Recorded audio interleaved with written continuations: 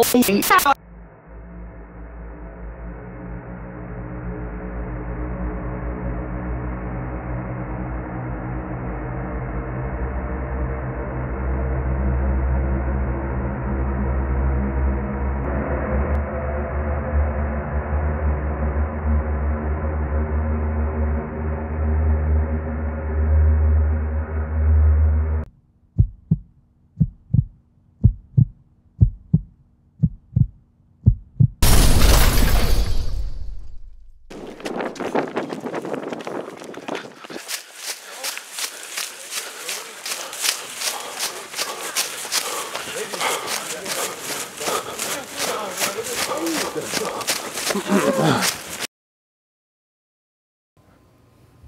What are some of your goals for the season? this season, I'd like to hit a new PR. Hopefully, I haven't PR'd so far last season, so hopefully this season I can, after a good uh, month of training, I can uh, go back hard, hit a new PR.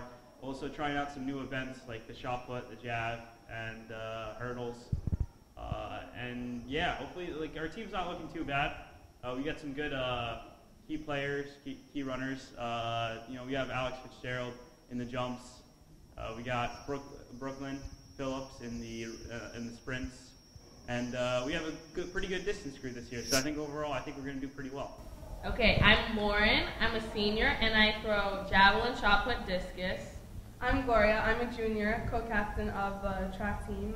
I jump triple, long, and high. My personal goals for this season is to break 140 in javelin, beat South Brunswick, and win GMCs because we have a good team, and I feel like we have a really good chance of getting it. My personal goal for the season, for the triple jump, I want to break 38 feet, and for long jump, I want to hit at least 17, preferably 18.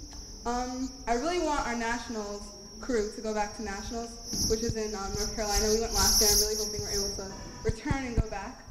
And um, yeah, that's basically. The East Brunswick track team this year looks to build upon its success for the last couple of years. With the insight from Eamon Soleil, Lauren Galloway, and Gloria Deneau, they look to build upon and excel their, with their goals and dreams for this year. The Bears track team is led by Coach DiCicino and Coach Sumberg. They have a lot of talent, depth, and ability, and will do great this year. Let's go, Bears.